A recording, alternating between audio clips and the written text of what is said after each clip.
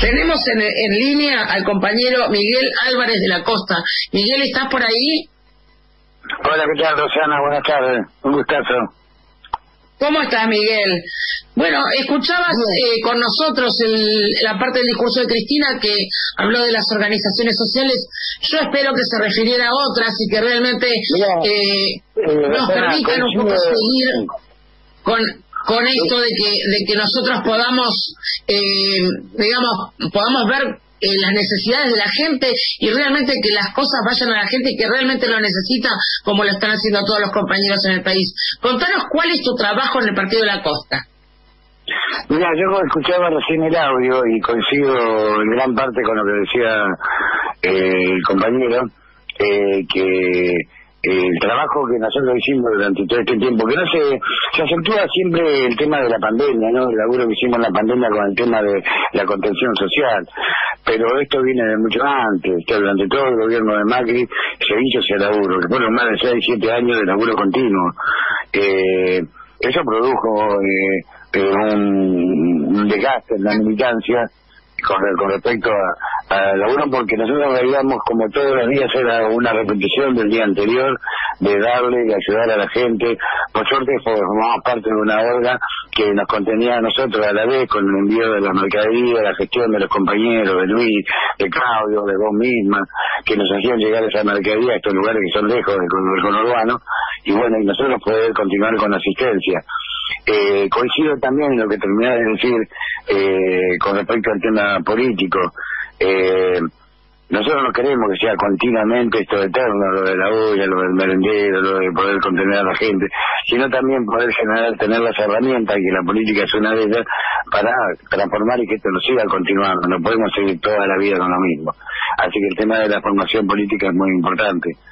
Eh, eh, mira, eh, con respecto a lo que dijo Cristina, yo no coincido con ella en este punto porque eh, los compañeros que la rodean evidentemente no, no han hecho este trabajo de, de la contención social. Es muy fácil verlo todo desde un escritorio que estar, sent- estar en la calle embarrándose y viendo el sufrimiento de la gente, que es lo que te, que lo que te despierta lo que te da fuerza para continuar adelante. Eh, yo creo que no todas las cosas, meter a todos en la misma bolsa está mal, eh, formo parte de una organización de la cual estoy muy orgulloso. Acá no permitimos, no jamás permitiremos que un compañero haga algo así, ni de ningún tipo de localidad, donde si yo me entero que un compañero hace eso, es expulsado inmediatamente de la organización. O sea, no, no, no, no permitimos que se le saque un centavo a los compañeros y el mismo Luis nos ha dicho en los Zoom, en las reuniones que hemos tenido, que eso no se toca. Eh, así que me me da mucha lástima de que eh, sé que sé que sucede en otras organizaciones y me da pena porque eh, bueno por la baja calidad humana de quien lo hace y por la pérdida económica de, la gente que lo necesita. Así que bueno eh, eh, desde lo que Mile nosotros consideramos que que toda ayuda que, que se gestiona que gestionan los compañeros de la conducción nacional para que bajen tiene que bajar y tiene que llegar a manos de la gente. Tanto sea mercadería tanto sea herramienta tanto sean los planes eso es para la gente. Nosotros somos mediadores y militantes por algo elegimos ser militantes. Que si no que nos quedaríamos en nuestra casa. Si elegimos militar es precisamente porque lo sentimos. Eh, bueno no sé si contesto la pregunta Rosana. Miguel vos qué eh, qué haces de tu vida en qué trabajas Yo soy albañil. Eh, más que nada estoy más dedicado a la parte de lo que es carpintería. Eh, ahora estamos con... Nosotros, por ejemplo, terminamos de construir con plata nuestra. Plata, la plata misma del potencial que cobramos fue usada en la construcción de un taller nuevo. Compramos los materiales, pagamos todo y la construimos nosotros, que va a ser nuestro futuro taller de carpintería. Ya está terminado el taller textil, las compañeras están trabajando, ya están las máquinas funcionando. Eh, y la idea es eso, es generar, transformar lo que es el potencial en trabajo genuino. Eh, así que bueno, seguiremos en ese camino. Eh, Los compañeros cuando trabajan en, en, en cooperativas que, que se arman dentro del FTV, ¿se sienten que están trabajando como esclavos? no, nosotros tratamos de inculcar alegría en el trabajo, o sea, no, el esclavo no.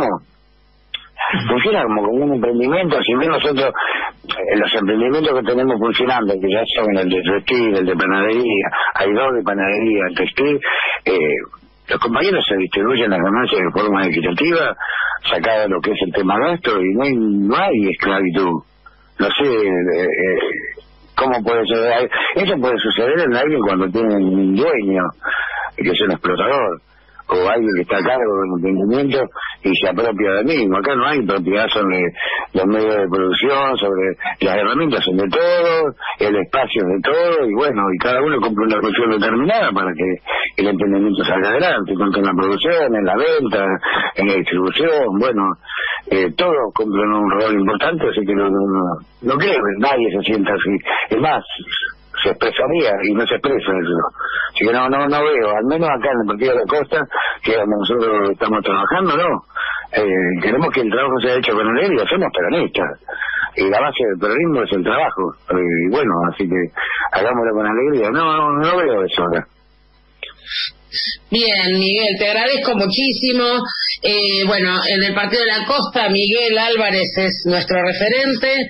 Y, ahí, bueno, charlando un poco sobre lo que es la actividad de, del FTV Miles allá, representada muy bien por Miguel, ¿sí? Miguel, eh, te agradecemos muchísimo tu paso por Pateando Barrio, ¿sí?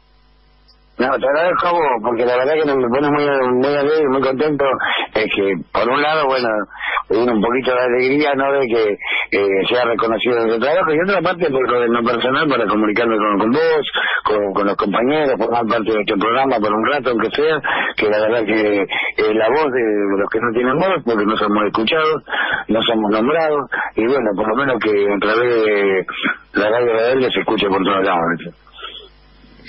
Te agradecemos mucho por, por llevarnos a patear un poquito el partido de la costa.